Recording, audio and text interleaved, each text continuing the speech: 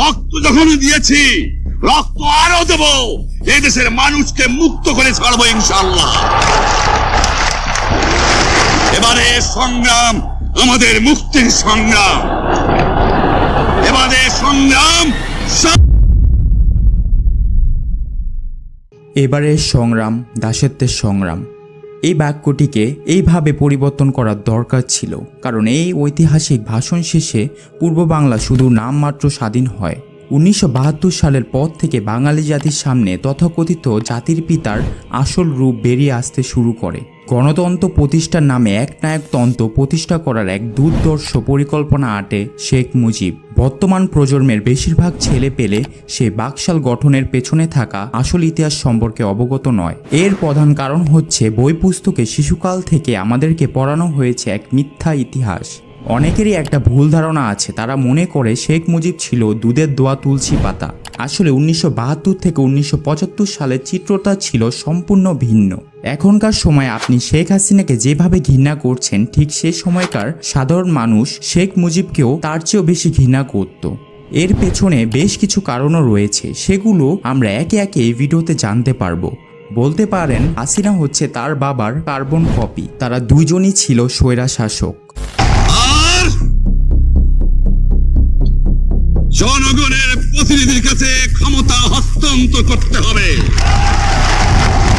তারপরে বিবেচনা করে দেখব আমরা অ্যাসেম্বলিতে বসতে পারব কি পারব না। এখানে মুজিব স্পষ্ট বলছে, জনগণের প্রতিনিধির কাছে ক্ষমতা হস্তান্তর করতে হবে। অর্থাৎ তার নিজের কাছে ক্ষমতা হস্তান্তর করতে হবে। মুজিবের এই ভাষণের ফলে মুক্তিযোদ্ধারা যুদ্ধ করতে সাহস জোগাতে পেরেছিল ঠিকই, কিন্তু তার ভাষণটি অত্যন্ত সুকৌশলী ছিল। মুজিবের এই স্বাধীনতা সার্বভৌমত্বের স্বাধীনতা ছিল না সেটা সে নিজেই স্বীকার করেছিল. That I don't mean. That I don't mean. আসলে শেখ মুজিব ছিল ক্ষমতার লোভী। সে কখনোই রাষ্ট্রপতির পদ চায়নি। সে সব সময় প্রধানমন্ত্রী হতে চেয়েছিল। এটা তার ঘনিষ্ঠ সহচর তাজউদ্দিন আহমেদের মেয়ে শারমিন আহমেদের লেখা বই পড়লেই বোঝা যায়। বইটির একশো চার নম্বর পৃষ্ঠায় লেখা আছে, হঠাৎ মুজিব কাকু আব্বুর কানের কাছে মুখ নামিয়ে বললেন, তাজউদ্দিন, আমি কিন্তু প্রধানমন্ত্রী হব মুজিব তার কথার মাধ্যমে যে কাউকে ম্যানিপুলেট করতে পারত। এটা তার ব্যক্তিগত দক্ষতা ছিল। সে সব সময় নিজ স্বার্থের জন্য কাজ করত। কাজ শেষ হয়ে গেলে সহকারীদের গৃহবন্দী করতেও সে দ্বিধাবোধ করত না। এমনকি মালনা ভাসানীকেও তিনি বাদ দেননি। উনিশশো বাহাত্তর থেকে উনিশশো পঁচাত্তর সাল পর্যন্ত শেখ মুজিব একবারের জন্য মুক্তিযুদ্ধ বা মুক্তিযোদ্ধা শব্দটি উচ্চারণ করেনি। এমনকি মুক্তিযুদ্ধের সময় যারা নেতৃত্ব দিয়েছিলেন, তাদের সবাইকে ধীরে ধীরে মন্ত্রিসভা থেকে বাদ দিতে থাকেন মুজিব। উনিশশো সালের ভাষা আন্দোলনের পক্ষে বা বিপক্ষে মুজিবের কোনো ভূমিকা ছিল না। উনিশশো চুয়ান্ন সালে সোরাদ্দির দয়ায় নির্বাচনে অংশ নেয় মুজিব। সেই নির্বাচনে জিতে সোরাদ্দির সাথেই বিশ্বাসঘাতকতা করেন মুজিব।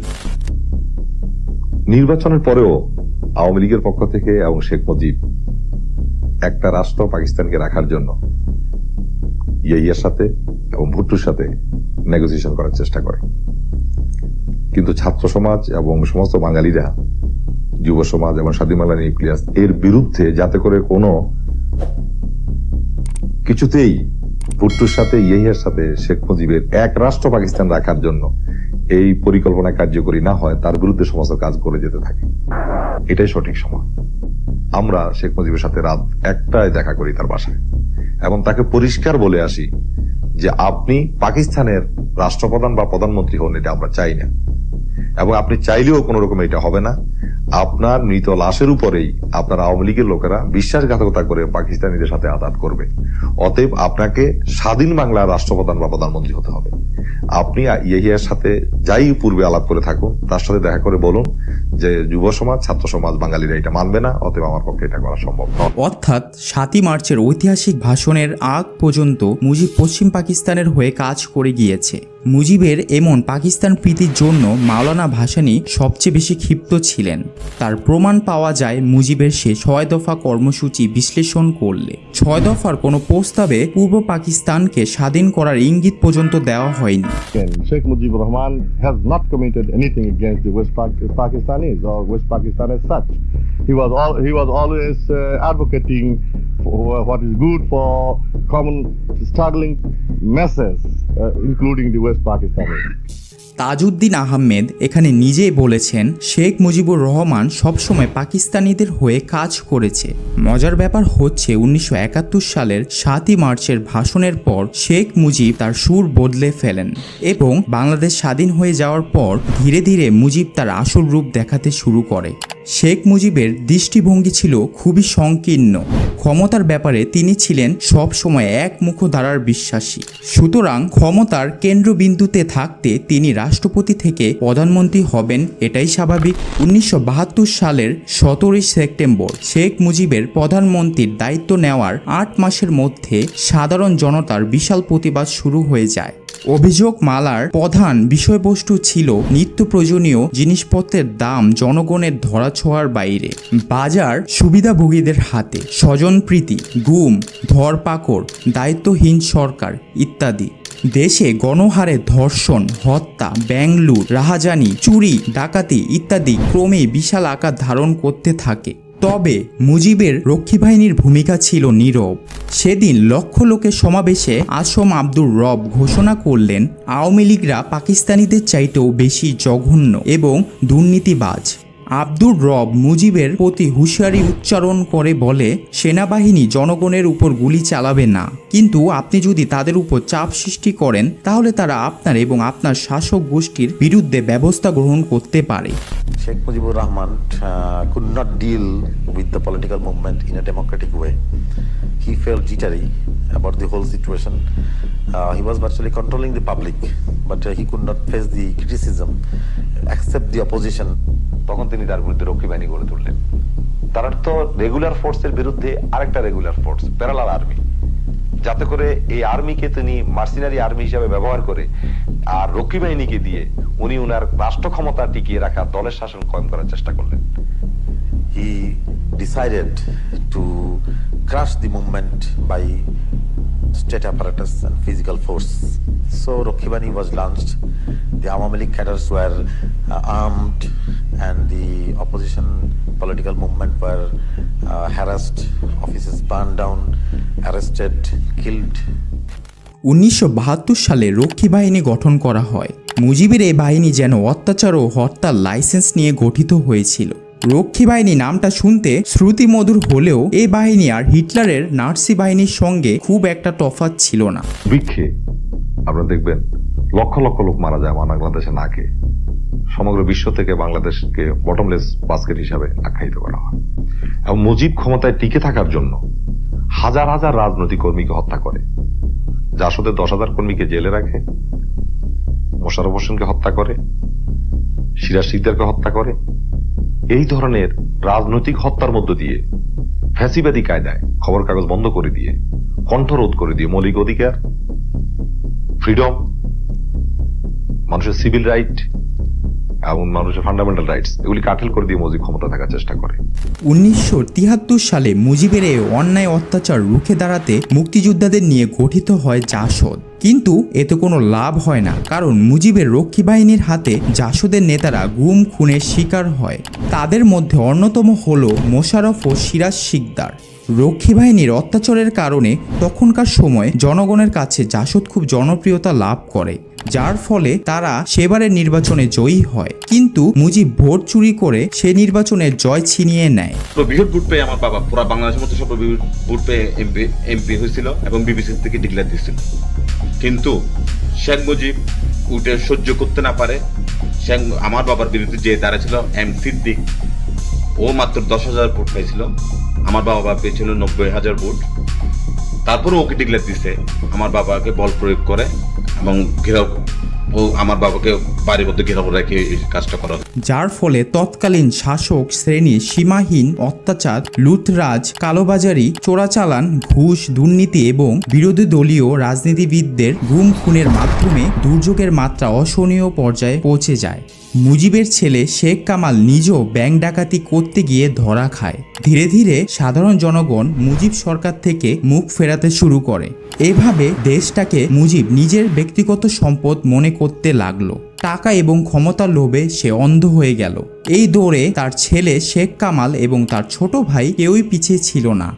সরকারি পৃষ্ঠপোষকতায় খাদ্য খাদ্যদ্রব্য এবং পাট ভারতে পাচার হতে লাগল। স্বাধীনতা প্রাপ্তির সাড়ে তিন বছরের মাথায় সীমান্ত দিয়ে সাড়ে ছয় হাজার কোটি টাকা দ্রব্য সামগ্রী ভারতে পাচার হল। লাগামহীন দুর্নীতির কারণে উনিশশো চুয়াত্তর সালে দেশের ইতিহাসে সবচেয়ে ভয়াবহ দুর্ভিক্ষ দেখা দেয়। যে দুর্ভিক্ষে লাখ লাখ মানুষ গ্রামগুলিতে মশা মশামাছির মতো মারা যায় কিন্তু শেখ মুজিব নিজেই সরকারিভাবে স্বীকার করলেন সাতাশ হাজার লোক মারা গিয়েছে about around about 27,000 people have died by starvation and, and by disease. We have not hid anything from anybody. মুজিবের সাক্ষাৎকার দেখে মনে হলো যেন তার কাছে সাতাশ হাজার মানুষ দুর্ভিক্ষে মরে যাওয়া বড় কোনো বিষয় ছিল না। কিছু কূটনৈতিক অনুমান করেন এ দুর্ভিক্ষে প্রায় দশ লক্ষ মানুষ মারা গিয়েছিল। ছোটবেলায় শুনতাম দেশে যখন যুদ্ধ পরবর্তী অবস্থায় দুর্ভিক্ষ চলছিল, তখন শেখ কামালের বিয়েতে তার বউকে সোনার মুকুট পরানো হয়েছিল। এই ভিডিওটি দেখার পর জানলাম কথাটা আসলেই সত্য। সেই মুকুট দেখার সৌভাগ্য হলো। দেশের মানুষ না খেয়ে মরে যায়, কিন্তু অন্যদিকে মুজিব পরিবার বিলেসিতা করতে ব্যস্ত ছিল। দুর্ভিক্ষের কারণে মানুষজন মুজিব সরকারের উপরে ফুসে উঠেছিল এবং মুজিবকে ঘৃণা করা শুরু করে। একইভাবে যেভাবে আমরা এখন শেখ হাসিনাকে ঘৃণা করি। এরপরে মুজিব বুঝতে পেরেছিল দেশে গণতন্ত্র কায়েম থাকলে তার ক্ষমতা বেশি দিন টিকে থাকতে পারবে না।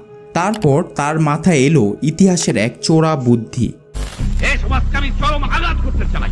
নতুন পরে দেশের উপরে নিদারুণ ফ্যাসিস্ট জুলুম আরম্ভ হয়ে গেছিল। সব দলকে বন্ধ করে দিয়ে নিষিদ্ধ করে দিয়ে সমস্ত খবরের কাগজ নিষিদ্ধ করে দিয়ে লোকদেরকে ধরপাকড় করে ব্যাপকভাবে জুলুম করেছিলেন। কৃষক শ্রমিকের সাথে বাকশাল সংগঠনের কোনো সম্পর্ক ছিল না। এটা কি সহজ জিনিস নাকি? সমস্ত সংবাদপত্র বন্ধ করে দিলাম অনেক হাজার হাজার লোককে জেলে দিলাম। এটা কি ফেলনা জিনিস? সেজন্যই লোকে মনে রাখে বুঝলেন? এবং সমালোচনা করে। উনিশশো সালের পঁচিশে জানুয়ারি আজীবন ক্ষমতায় থাকতে শেখ মুজিব বাকশাল গঠন করার সিদ্ধান্ত নেয়। বাকশাল গঠনের মাধ্যমে মুজিব সারা দেশে একনায়কতন্ত্র গঠন করতে চেয়েছিল। কিন্তু তার এই অবৈধ সিদ্ধান্তে আওয়ামী লীগ নেতারা এক হতে পারেনি। যেসব নেতাকর্মীরা মুজিবের এই অগণতান্ত্রিক প্রস্তাবে সায় দেয়নি তাদের অবস্থা হয়েছিল মর্মান্তিক। Saab went for Bakshal, which means one leader, one party, one country. Total disregard and betrayal of people's confidence, open expectation, and total negation of the constitution which we ourselves framed. That is Baksa. Stopping newspapers, all newspapers excepting three, four under the government control. According to my reading, though cruel it will sound, Mujib's political death was on that day on which he formed this one party Baksha. কিন্তু প্রতিটি স্বৈরাচারীর মতো মুজিবও ভুলে গিয়েছিল যে এই রক্তময়ী ক্ষমতার অবসান একদিন ঘটবে। এবং ঠিক সেটাই ঘটে। উনিশশো পঁচাত্তর সালের পনেরোই আগস্ট ভোরে বাংলাদেশ সেনাবাহিনীর একদল সদস্য সামরিক অভ্যুত্থান সংগঠিত করে এবং শেখ মুজিবকে তার ধানমন্ডি বত্রিশের বাসভবনে সহপরিবারে হত্যা করে। পরিবারে কোনো সিনিয়র সদস্য থাকলে জিজ্ঞাসা করবেন। বলা হয়ে থাকে সেদিন ঢাকা শহরে মিষ্টির দোকানে মিষ্টির সংকট দেখা দিয়েছিল। মেজর ডালিম বলছি অদ্য সকাল হতে খন্দকার মুস্তাক আহমদের বরিষ্ঠ নেতৃত্বে সামরিক বাহিনী ক্ষমতা দখল করিয়াছে। শেখ মুজিব ও তার খুনি দুর্নীতিবাজ সরকারকে উৎখাত করা হইয়াছে। এখন হতে সারা দেশে সামরিক আইন জারি করা হলো। আপনারা সবাই আমাদের সাথে সহযোগিতা করুন। আপনারা নিশ্চিন্ত থাকুন, কোনো অসুবিধা আপনাদের হইবে না। বাংলাদেশ জিন্দাবাদ। সারা বাংলাদেশে সকাল হইতে সন্ধ্যা পর্যন্ত চব্বিশ ঘণ্টার জন্য কার্য জারি করা হইয়াছে। পরবর্তী নির্দেশ পর্যন্ত এই কার্য জারি থাকিবে। বাংলাদেশ পুলিশ রক্ষী বাহিনীর সিপাহী ভাই বোনেরা আপনারা সবাই সেনাবাহিনীর সঙ্গে যোগদান ও সহযোগিতা করুন। যারা অসহযোগিতা করবেন, দেশের বৃহত্তর স্বার্থের খাতিরে তাদের চরম দণ্ড দেওয়া হইবে। এই জন্য বীর মুক্তিযোদ্ধা ডালিম বলেছিলেন, আমরা কেন শেখ মুজিবুরের সাথে পুরো বংশকে নির্বংশ করতে চেয়েছিলাম, সেটা বোঝার জন্য হাসিনা ও রেহানা আপাকে রেখে গেলাম। বাঙালি জাতি সেটা ভবিষ্যতে হারে হারে টের পাবে। বীর মুক্তিযোদ্ধা ডালিমকে বলতে চাই, তাদেরকেও যদি সে জয় বাংলা করে দিয়ে যেত, তাহলে আজকে জাতিকে অযথা রক্ত ঝরাতে হতো না। মুজিবের মেয়ে হাসিনাও তার বাবার দেখানো পথেই হেঁটেছিল। তবে অবশেষে জাতি তাকে এবং তার খুনি সহকারীদের পদত্যাগ করতে বাধ্য করিয়েছে। আলহামদুলিল্লাহ। স্বাধীনতা সময়কালে শেখ মুজিব দেশের জন্য অনেক কিছু করলেও সে ধীরে ধীরে ক্ষমতার লোভে অহংকারী হয়ে যায় এবং এটাই তার পতনের মূল কারণ হয়। হাসিনার একমাত্র লক্ষ্য ছিল স্বৈরাচারী হওয়া এবং তার অন্যতম প্রধান উদ্দেশ্য ছিল আমাদের বীর সেনাদেরকে ধ্বংস করা।